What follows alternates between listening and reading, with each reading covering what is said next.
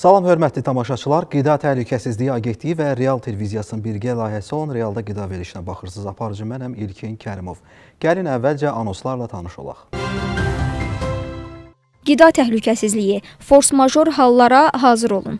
Bu ilki Ümumdünya Qida Təhlükəsizliyi gününün şüarı belədir. Beynəlxalq günün təsis edilməsində məqsəd nədir və dünyada qida təhlükəsizliyi ilə bağlı əsas çağırışlar nədən ibarətdir? Ölkəmizdə qida təhlükəsizliyinin təmin olunmasında xüsusi əhəmiyyət daşıyan laboratoriyaların fəaliyyəti necə qiymətləndirilir? Təhlükəsiz qida ilə sağlam gələcəyə, sağlam gələcəyə gedən yolda əsas hədəflər nədən ibarətdir? Bu və daha çoxu birazdan realda qidada. Bugünkü mövzunun müzakirəsindən əvvəl gəlin ötən həftə qida sahəsində baş verən əsas xəbərlərlə tanış olaq. Qida Təhlükəsizliyi Agentliyinin nümayəndə heyəti Parisdə keçirilən Ümumdünya Heyvan Sağlamlığı Təşkilatının nümayəndələri Assambleyasının 91-ci Ali Baş Sessiyasının açılış mərasimində iştirak edib. Sessiyada ölkəmiz Avropa regionunda heyvan rifahı platforması üzrə 4-cü fəaliyyət planının həyata keçirilməsi üçün təyin olunan 5 ölkədən ibarət Ali Komitənin üzvlüyünə seçilib. Qeyd olunan Ali Komitənin üzvlüyünə seçkilər ölkədə aparılan vahid sağlamlıq tədbirləri, heyvanların rifahı sahəsində görülən işlər əsas götürülərək təyin olunub. Qeyd edim ki, bizdə daxil olmaqla Avropa regionunda 53 ölkə təmsil olunur. Avropa regionunda da heyvan rifahı üzrə rəhbər komitə yaradılmışdır. Bu komitənin üzvləri təbii ki, bütün üzv ölkələr, ancaq rəhbər komitə olaraq 2 Avropa Birliyinə üzv olan ölkə, 3 Avropa Birliyinə üzv olan olmayan ölkə kimi e, tərkibdə formalaşdırır.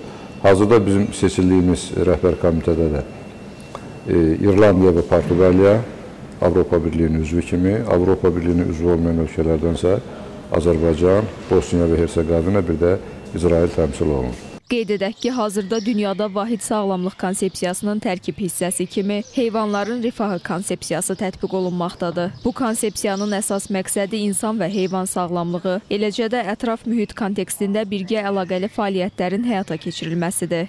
Heyvanların rifahı heyvan sağlamlığı konsepsiyasının tərkib və çox böyük bir hissəsidir.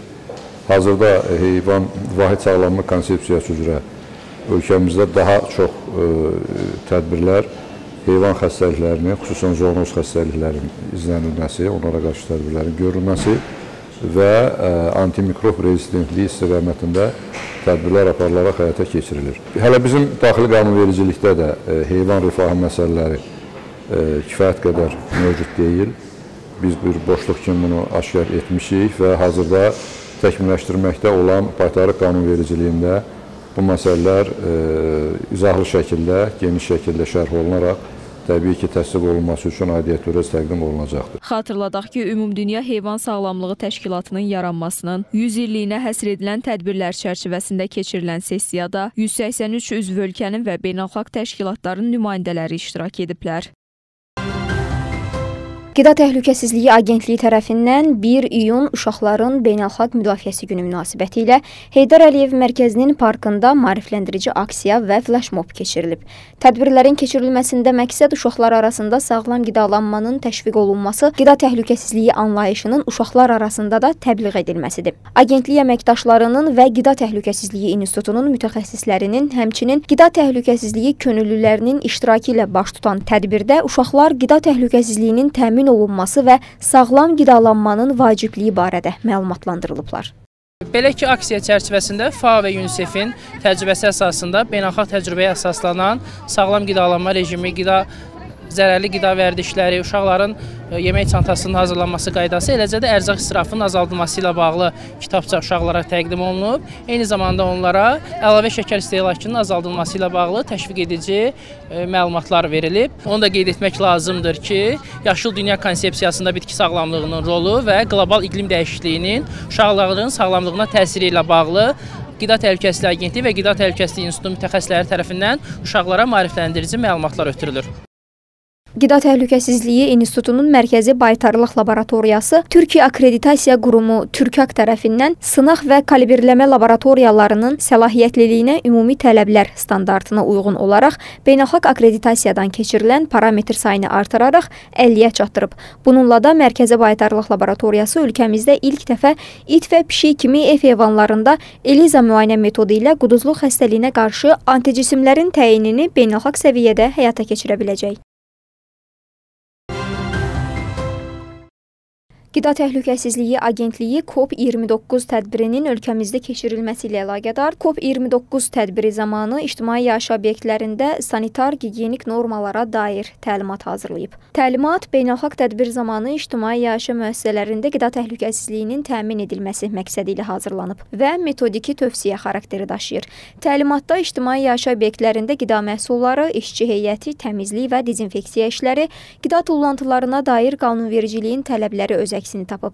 COP29-la bağlı agentlik tərəfindən təsdiqlənmiş tədbirlər planına əsasən hazırlanan sözügedən təlimatın ictimai yaşayış müəssisələrində paylanılması nəzərdə tutulub. Hörmətli tamaşaçılar, realda qida verilişinin bugünkü buraxılışı 7 iyun Ümumdünya Qida Təhlükəsizliyi gününə həsr olunub. Qonağım Azərbaycan Respublikası Qida Təhlükəsizliyi Agentliyinin əməkdaşı Mətanət xanım Mehdiyevadır. Salam verirəm sizə, xoş gəlmisiniz. Xoş gördük Kim bəy. Vətən xanım 7 iyun qida təhlükəsizliyi günü ilə bağlı bir reportajımız var. Tamaşaçılar üçün də aydın olsun ki, bu gün nə məqsədlə təsis olunub. Gəlin bu sujeti izləyək, sonra söhbətə davam edəcəyik. Buyurun.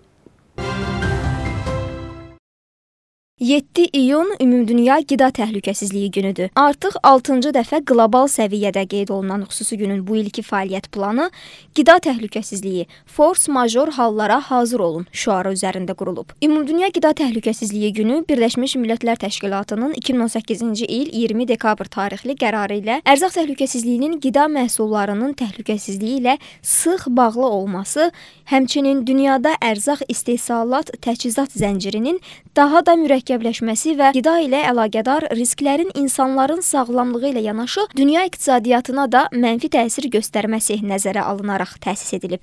Bu günün təsis olunmasında əsas məqsəd isə qida ilə əlaqəli risklərin aşkarlanmasına, qarşısının vaxtında alınmasına və düzgün idarə edilməsinə diqqət çəkməklə ərzaq təhlükəsizliyinə, insan sağlamlığına, iqtisadi rifaha, kənd təsərrüfatı istehsalına, beynəlxalq bazara çıxışa, turizmə və davamlı inkişafa töhfə verməkdən ibarətdir.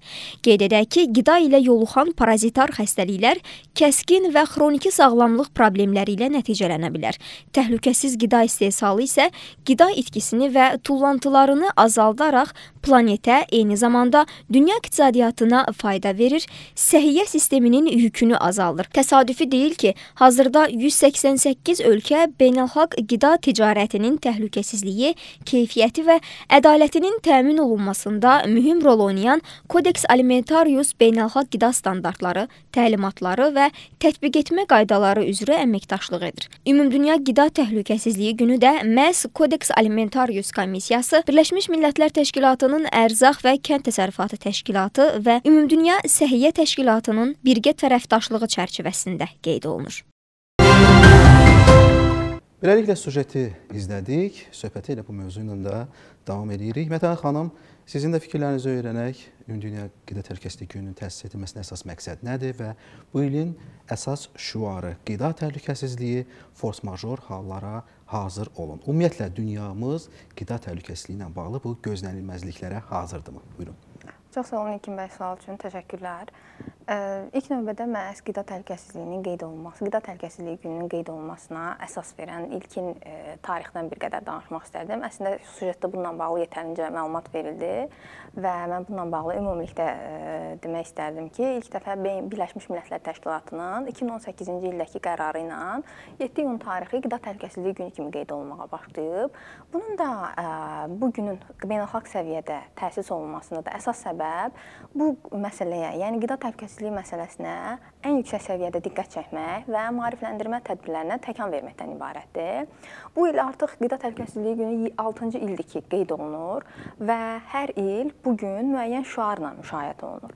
Bu ilki şüar isə elə məhz sizin də qeyd elədiyiniz kimi force major hallara, yəni gözlənilməzliyə hazır olun şüarıdır ki, bu şüar da öz növbəsində qida təhlükəsizliyi sahəsində baş verə biləcək gözlənilməz və eləcə də arzu olunmayan hadisələrə diqqəti çəkməyi planlaşdırır öz növbəsində və güman eləyirik ki, bu belə də olacaq. Qida təhlükəsizliyi sahəsində arzu olunmayan və həmçinin də gözlənilməz hallar deyəndə nə nəzərdə tuturuq? Əslində bu elə ə, ifadənin özündən aydındır. Deməli, qida təhlükəsizliyi sahəsində hər hansısa bir xırda bir e, məsələ belə, məsələn, götürək ki, ev şəraitində yemək bişirilən zaman elektrik cərəyanı və ya qaz xəttində yaranan hər hansısa bir problemdən dolayı yeməyə verən, istilik mənbəyi verən e, belə deyək, mənbədə kəsinti yaranır və bu yaranmış kəsintidən dolayı da yeməyin e, fiziki, key keyfiyyət, kimyəvi və digər göstəricilərində dəyişikliklər ola bilər. Məsələn, bu ən bəsit bir nümunədir qida təhlükəsizliyi sahəsində yaranan e, arzu olunmayan hallara. Bəs yaxşı, bu halların yaranmasına səbəblər nədir? Nələrdən qaynaqlanır? Burada da əsas səbəb əslində qeyri-adekvat nəzarət tədbirləri ola bilər. Həmçinin istehlakçıların özlərinin məsuliyyətsiz e, bir qədər yanaşması ola bilər e, istehlak etdikləri qidalara. Müxtəlif qida e, təhlükəsizliyi sahəsinə təsir göstərə biləcək təbii hadisələr ola bilər. Həmçinin də qida saxtakarlığı bu səbəblər arasındadır. Hı -hı. Bəs yaxşı, e, bununla bağlı necə e, hazırlıqlı ola bilərik? Yəni qida təhlükəsizliyi sahəsində baş verən problemlərə necə hazırlıqlı ola bilərik? Bunun da əslində 3 tərəfi var. 3 tərəf deyən dedikdə ilkin tərəf dövlət qurumları, hökumət orqanları, nəzarət və tənzimləmə funksiyalarını yerinə yetirən qurumlar nəzərdə tutulur. İkinci tərəf qida zənciri subyektləri və obyektləridir. Üçüncü tərəf isə istehlakçılar, hansı ki, hamımız bütün vətəndaşlardır. Hər bu sadalada Yəni bir üçbucaq kimi nəzərə alsaq. Bəli, bəli, bəli. Hər biri bir-biri ilə sahibkar istehlakçı. Bəli, e, tamamilə düzgün buyurursunuz. Hər biri həm bir-biri ilə əlaqəlidir, həm də onların bir-biri ilə e, qarşılıqlı e, belə deyək, əlaqələri nəticəsində də bu sistemdə hər birinin özünə məxsus payı, özünə məxsus rolu var. Bu sualımız da belə idi ki, necə hazırlıqlı ola bilərik? Hökumət orqanları, nəzarət tənzimləyici funksiyaları yerinə yetirən qurumlar nə edə bilər? Əlbəttə ki, ilk növbədə onlar qanunvericilik, böhran hallarına hazırlıqlı olmaq üçün qanunvericilik bazasını yarada bilər. Bunu təkmilləşdirə, beynəlxalq standartlara uyğunlaşdıra bilər. İkinci növbədə sahibkarlıq subyektlərinin, hansı ki, qida zənciri subyektləri və obyektlərin üzərinə düşən paydır.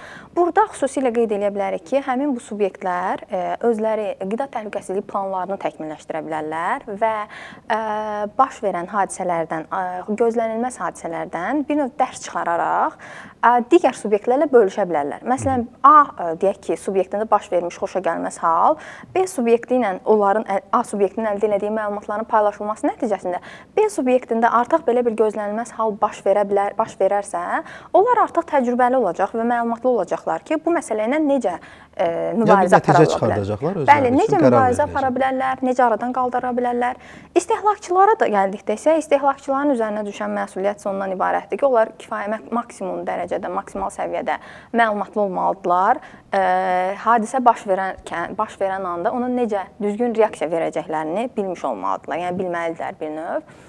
Və sonda Dolayısıyla da ictimai nəzarət funksiyaları. Bəli, bəli, ictimai nəzarət funksiyaları da öz növbəsində burada rol oynayır və elə əslində dövlət qurumlarının e, nəzarət e, funksiyası yerinə yetirən qurumların üzərinə düşən vəzifələrdən də biri məhz ictimaiyyət və e, subyekt, sahibkarlıq subyektləri arasındakı məlumat mübadiləsini təmin etmək və onlar üzərində ümumi e, müşahidələr aparmaqla sistemi nəzarət altında saxlamaqdır.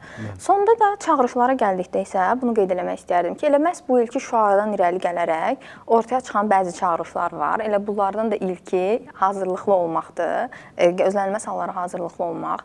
İkincisi, effektiv kommunikasiyanı və sürətli məlumat mübadiləsini təmin etmək.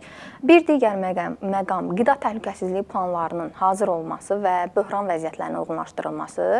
Ən sonda isə çoxtərəfli əməkdaşlıqdır ki, bu da qlobal, regional, milli və lokal səviyyəni əhatə edə bilər ki, beləliklə də qida təhlükəsizliyi sahəsində baş verən məsələlər, problemlərin aradan qaldırılmasında əməkdaşlıq göstərilsin.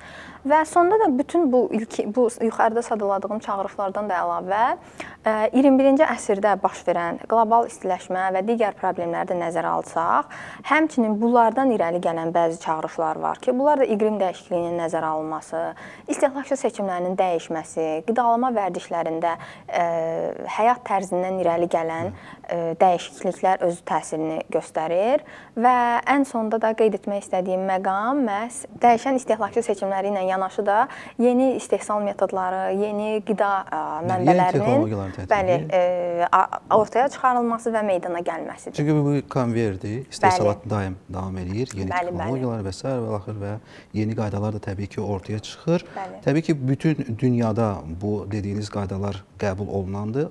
O cümlədən də Azərbaycanda tətbiq edilir. Beynəlxalq təşkilatlarla əməkdaşlıq olunur, ekspertlərlə. Həmin bu təşkilatların Azərbaycanda həyata keçirdiyi bir sıra layihələr var. Onlardan e, bir neçəsi barədə istərdim ki, söhbət edək. E, sonuncu e, həyata keçirilən layihələrdə Azərbaycanda qida təhlükəsizliyi sisteminə belə deyək də necə bir qiymət verilib bu barədə məlumatları sizdən eşidək. Çox təşəkkürlər sual üçün. Əslində elə çox yaxşı bir məqama toxundunuz bu yerdə. Belə ki, keçən ayın, yəni 2024-cü ilin aprel ayının əvvəlində Azərbaycanda qida təhlükəsizliyinin nəzarət sisteminin qiymətləndirilməsi alətinin nəticələri ölkə daxilində elan olundu və bununla bağlı bir sıra hesabat çıxışları edildi. İlk növbədə istəyərdim bu alətin özü nədir və əsas məqsədi e, nədir mövzusunda bir qədər e, danışaq. Buyurun. Qiymətləndirmə e, qida təhlükəsizliyinə nəzarət sisteminin qiymətləndirmə aləti 2019-cu ildə yaradılıb. Bu təşəbbüs də Birləşmiş Millətlər Təşkilatının Ərzaq və Kənd Təsərrüfatı Təşkilatı və Ümumdünya Səhiyyə Təşkilatının təşəbbüsü ilə e, irəli sürülüb və burada da əsas məqsəd ondandır ki, ondan ibarətdir ki, deməli bu sadaladığım qurumlar ölkələrdə, bütün dünya ölkələrində aşağı-yuxarı demək olar ki, eyni keyfiyyətli, yəni qabaqcıl texnologiyalara əsaslanan və qabaqcıl beynəlxalq standartlara cavab verən qida təhlükəsizliyi sisteminin qurmaqdır, plan, qurmaq və də qurmağı planlaşdırırlar belə deyək.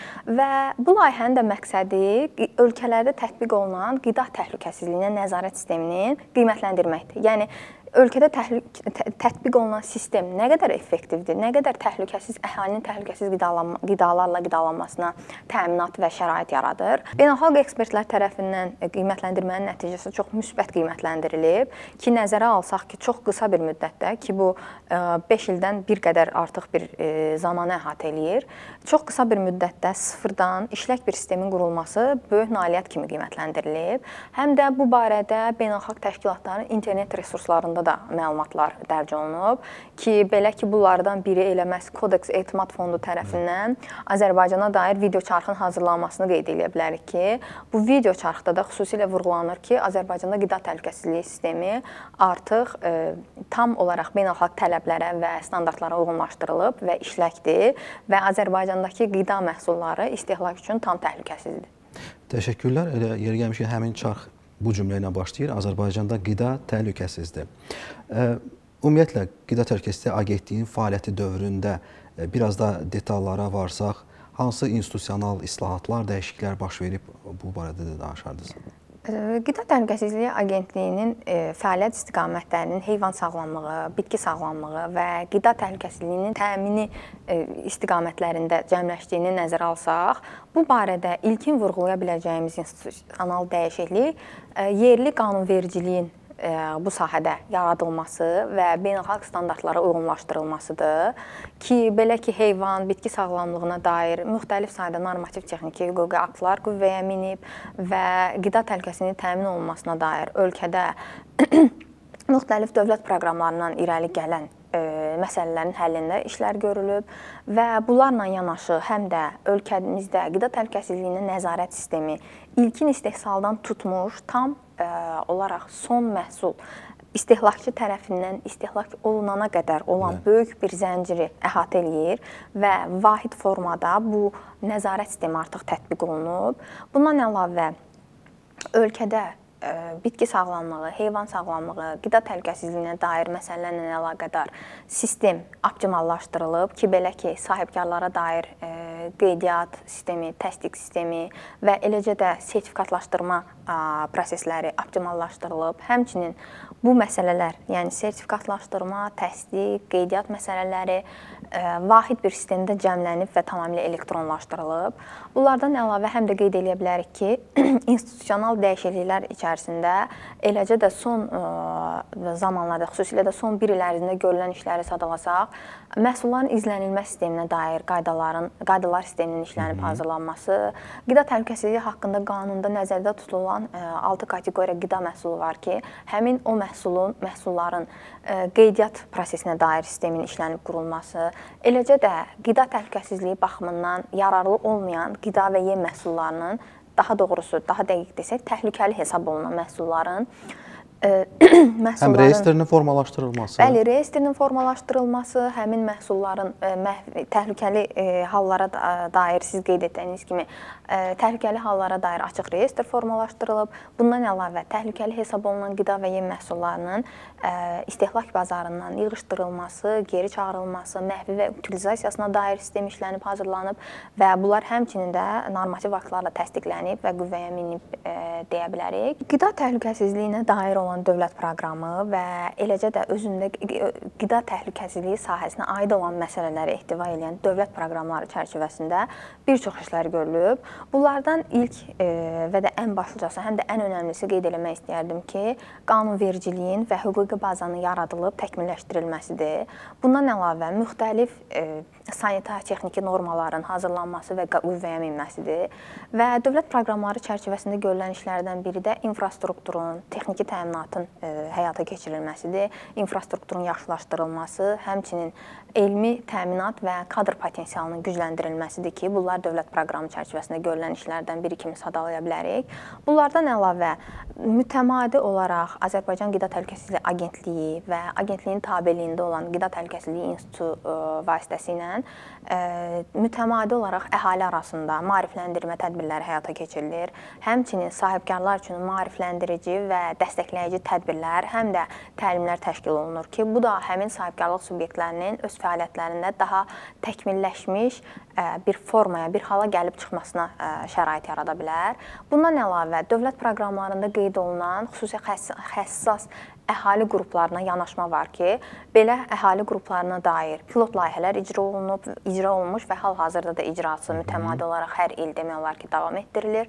Bunlar dövlət proqramı çərçivəsində vurğulamaq istədiyimiz əsas məqamlardır ki, hansı ki, bunlara dair işlər görülüb və hal-hazırda da görülməkdə davam eləyir. Hı -hı. E, qida təhlükəsizliyinin təmin olunmasının belə deyək, əsas komponentlərindən birini təşkil edən laboratoriyaların iş sistemi. Əlbəttə ki, bu arada da mən düşünürəm ki, danışmaq mütləq lazımdır. Sizin qeydləriniz. Laboratoriyalar deyərdim ki, qida təhlükəsizliyi sistemi deyəndə, yəni bu sistemi laboratoriyalarsız təsəvvür etmək qeyri-mümkündür. Çünki biz hər hansı bir məhsul götürə bilərik. Deyək ki, e, e, hər hansı bir meyvə və ya tərəvəz olsun. Mən. Ona biz baxaraq və ya fiziki duyğu orqanlarımız vasitəsilə, yəni onu dadaraq, qoxlayaraq, onun təhlükəsizliyi ilə bağlı konkret dəqiq fikir söyləməyimiz demək olar ki, qeyri-mümkündür. Bunun üçün məhz bu nöqtədə laboratoriyaların fəaliyyəti, laboratoriyaların əhəmi, əhəmiyyəti özünü biruzə verir. Yəni laborator analizlər olmadan, laborator analizlərin ə, e, nəticələri bizə əsas verir deyək ki, bu qida məhsulu sağlamlıq üçün tamamilə təhlükəsizdir. Yəni bu qida məhsulunun sağlamlığa heç bir ə, e, ziyanı, zərəri olmayacaqdır. Mə.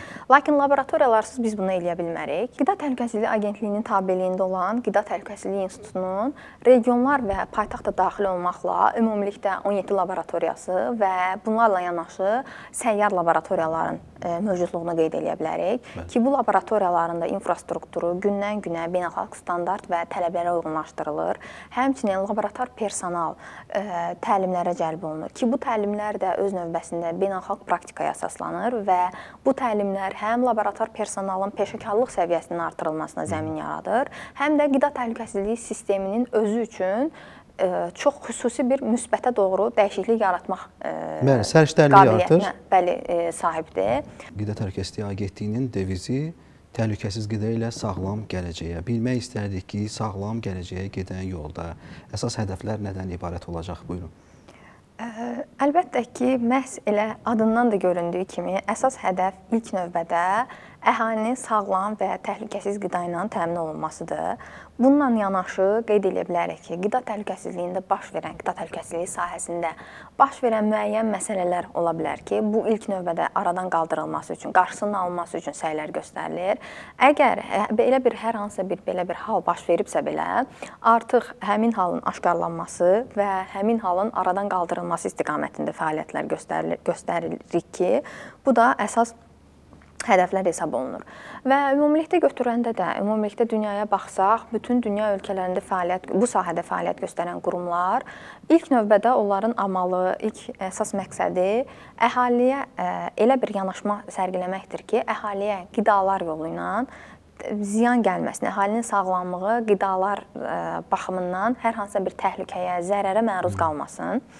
Bu nöqtədə qloballaşmaya da toxunsaq çox yerinə düşər. Çünki 21-ci əsrdə qloballaşma artıq elə səviyyədədir ki, bunun qida qidalarımıza, qida məhsullarına təsiri təsirsiz ötüşməsi demək olar ki, mümkün deyil.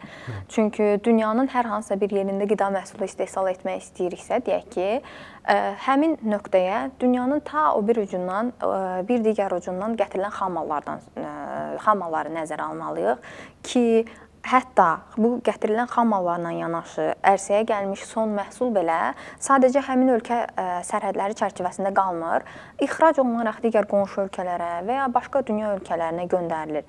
Ki bu da həmin məhsulların istehsal olunduğu ölkələrin qurumları üzərinə iki qat demək olar ki, məsuliyyət qoyur. Çünki onlar sadəcə öz ölkələrinin vətəndaşları üçün, vətəndaşlarının sağlamlığına deyil, həm də e, hansı ki o məhsullar ixrac olunur, həmin ölkələrin vətəndaşlarının bir növ sağlamlığına da artıq cavabdeh olur və buna e, təminat e, vermək məcburiyyətində qalırlar. Və vahid sağlamlıq belə deyək də dünya Bəli, konsepsiya ortaya çıxır. Sağlamlıq konsepsiyasına ə, e, əmələ gəlməsinə səbəb olur və bu baxımdan ə, e, agentlik olaraq hə, hər zaman çalışır çalışırıq və çalışacağıq ki, əhalimiz ilk növbədə təhlükəsiz və sağlam qidalarla qidalansın və qida təhlükəsizlik sistemi baxımından ölkəmiz ilkin sırada olan ölkələr sırasına qoşulsun və beləliklə biz də sağlam gələcəyə, sağlam vətəndaşlarımızın sağlamlığı naminə bir addım atmış, bir müsbətə doğru dəyişikliyə səbəb olmuş olarıq. Belə bu qədər. Çox sağ olun. Təşəkkür edirəm gəldiniz studiyaya, suallarınızı cavablandırdınız. Hörmətli tamaşaçılar, mənim qonağım Azərbaycan Respublikası Qida Təhlükəsizliyi Agentliyinin əməkdaşı Mətanət xanım Mehdiyeva idi. Biz bugünkü realda qida verilişini 7 iyun Ümumdünya Qida Təhlükəsizliyi gününə həsr etmişdik. Yaşıl dünya konsepsiyasında bitki sağlamlığının rolu nədən ibarətdir? Ümumiyyətlə, Qida Təhlükəsizliyi Agentliyi bitki sağlamlığının təmin olunması istiqamətində hansı fəaliyyətləri icra edir? Sujetimiz var, gəlin izləyək. Yaşıl dünya konsepsiyasında bitki sağlamlığı dedikdə kənd təsərrüfatının dayanıqlılığı, ərzaq təhlükəsizliyi, ətraf mühitin və biomuxtəlifliyin mühafizəsinə yönəlmiş bütün tədbirlər nəzərdə tutulur. Ümumiyyətlə bitkilər insan həyatında çox mühüm yer tutur. Belə ki, insanların istehlak etdiyi qidanın 80%-dən çoxu, nəfəs aldığımız havadakı oksigenin 98%-dən çoxu bitkilər tərəfindən təmin olunur. Təsadüfi deyil ki, Birləşmiş Millətlər Təşkilatı tərəfindən 2020-ci ildən başlayaraq 12 may tarixi bitki sağlamlığı günü elan edilib. Eyni zamanda 2024-cü il Azərbaycanda Yaşıl Dünya naminə həmrəylik ilə elan olunub. Respublikamızın 2030-cu ilə qədər sosial-iqtisadi inkişafa dair 5 milli prioritetindən birinin təmiz ətraf mühit və yaşıl artım ölkəsi kimi müəyyənləşdirilməsi bu sahədə zəruri addımların atılmasına dəlalət edir. 2023-cü il ərzində Azərbaycana idxal edilən bitkiçilik məhsullarında aşkar edilmiş, karantin tətbiq edilmiş zərərli orqanizmlərə görə ixracatçı ölkələrə 829 bildiriş göndərilmişdir ki, bunların da 49-u əkin və səpin materiallarında aşkar edilib. Qanunvericilik bazasının təkmilləşdirilməsi, bitki müalicə vasitələrinin və aqrokimyəvi maddələrin dövriyyəsinə nəzarət sisteminin yaxşılaşdırılması, kadr və elm potensialının gücləndirilməsi, beynəlxalq əlaqələrin e, genişləndirilməsi, informasiya sistemlərinin tətbiqinin genişləndirilməsi istiqamətində zəruri işlər həyata keçirilir. Həmçinin insanların və ətraf mühitin mühafizəsi e, üzrə beynəlxalq təcrübə nəzərə alınmaqla Agentliyin kollegiyası tərəfindən 238 adda pestisidin təsir edici maddəsinin Azərbaycanda tətbiqi və dövriyyəsi qadağan edilmişdir ki, bütün bu tədbirlər də son nəticədə bitki sağlamlığının təmin olunmasına xidmət edir. Qeyd edək ki, bu ilin 21-22 may tarixlərində 2024-cü ilin Yaşıl Dünya naminə həmrəylik ili elan edilməsi haqqında Azərbaycan Respublikası Prezidentinin sərəncamının icrası və Beynəlxalq Bitki Sağlamlığı Günü ilə bağlı Bakıda Yaşıl Dünya naminə bitki sağlamlığı forumu keçirilib. Bugünlük bu qədər. Realda qida verilişinə baxırdınız. Aparıcı mən idim İlkin Kərimov. Təhlükəsiz qida ilə sağlam gələcəyə.